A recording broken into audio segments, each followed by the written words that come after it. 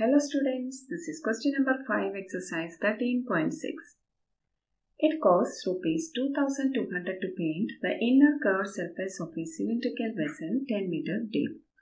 If the cost of painting is at the rate of rupees 20 per meter square, find the inner curved surface area of the vessel, radius of the base, capacity of the vessel. This cylindrical vessel is 10 meter deep we have to find the radius of the base. The rate of cost of painting is given rupees 20 per meter square. The total cost of painting the inner curved surface is given rupees 2200. The height is 10 meter. The cost of painting 1 meter square is rupees 20. Cost of painting the inner CSA of the vessel is rupees 2200. We have to find the inner curved surface area of the vessel. We know that inner curved surface area multiplied by cost per meter square gives the cost of painting the inner CSA.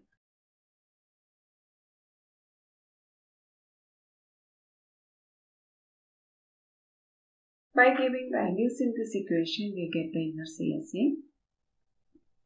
Inner CSA multiplied by cost per meter square is rupees 20 and the cost of painting the inner CSA is rupees 2200.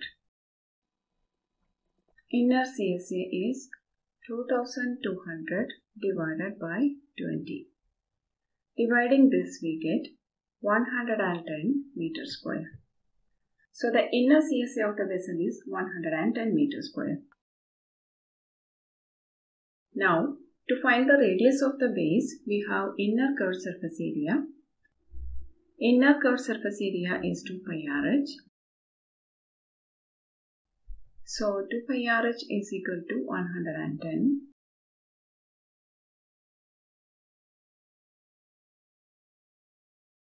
Two into twenty-two by seven. The radius we have to find, and the height of the vessel is ten. Is equal to 110.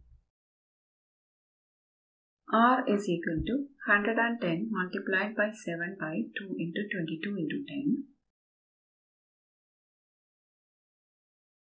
Cancel this 10 by 110. We get 11.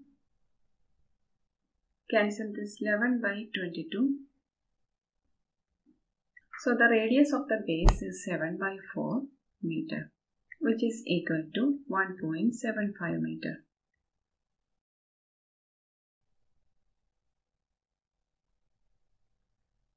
Now the capacity of the vessel is pi r square h.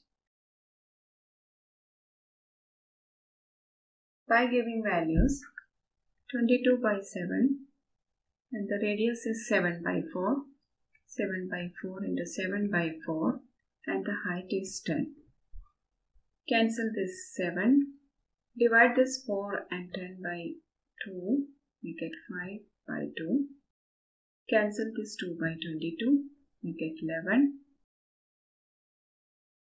Multiplying this together we get 385 divided by 4. Dividing 385 by 4 we get 96.25 meter cube which is equal to 96.25 kiloliters. So the capacity of the vessel is 96.25 kiloliters.